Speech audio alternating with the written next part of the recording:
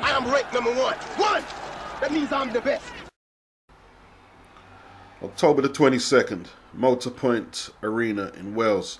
Do not sleep on the Liam Williams Ahmed Patterson contest. It pits Liam Williams, who is the British and Commonwealth champion at light welter. 15 wins and 10 KOs. He gets to defend his crown on home territory against Ahmed Patterson, who is the IBF International champion. He has 17 wins, 7 KOs. Both men undefeated. Both men undefeated. I believe this will be a co-feature on the Eubank Jr., Chris Eubank Jr. versus Tommy Langford contest. Now, if Langford could fight anything like his namesake, Sam Langford, Eubank, you're in big trouble. Tommy Langford. What about Tommy Langford? He's from West Brom.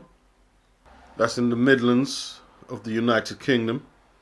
He has 17 wins, 7 KOs, no losses.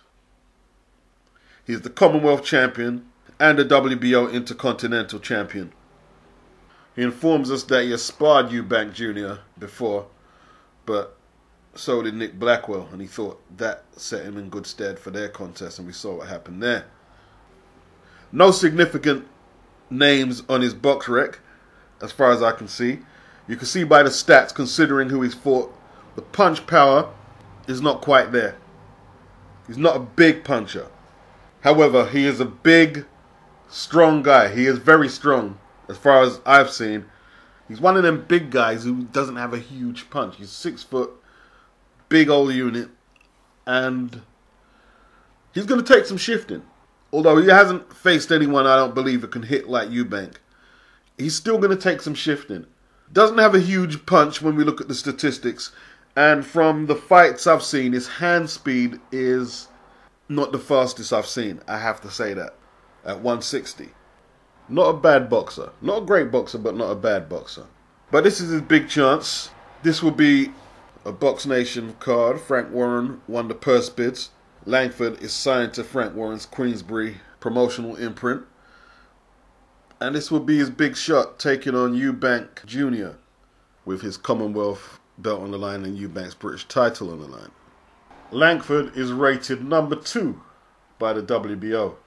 I believe this is why Frank went for the purse bids. If Langford could beat Eubank, then he'll more or less be the mandatory for Billy Joe Saunders' title. You know, that'd be a nice in-house fight for Frank. So that's um, Frank's plan, in my opinion. Eubank Jr. is rated number two by the WBC and WBA, number five by the IBF, number nine by the WBO.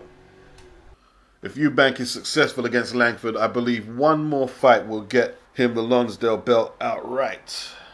Eubank Jr. is only an inch shorter than Langford at 5'11, well conditioned. He's the British champion. He won that by taking out Nick Blackwell, the British champion, who actually um, Langford faced Dan Blackwell, who was Nick Blackwell's brother, and that went the distance.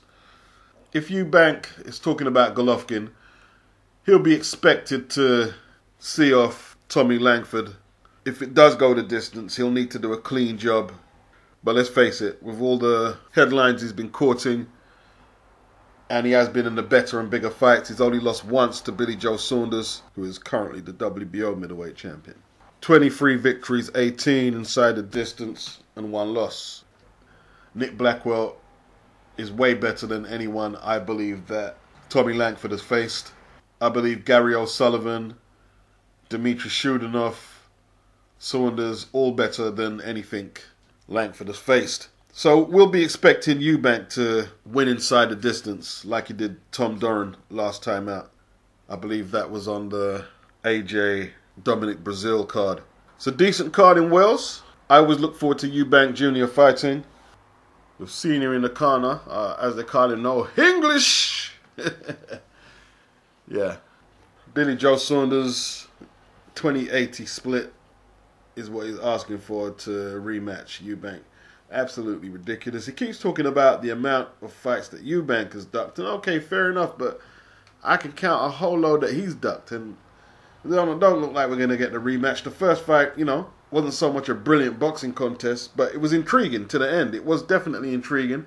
A rematch would be equally as intriguing, as I believe both men would have improved considerably, and it would be a domestic must see contest, in my opinion. But we're not going to get that for now. So, Tommy Langford will have to do for now. For Eubank, what Billy Joe Saunders is doing with his career, only he knows.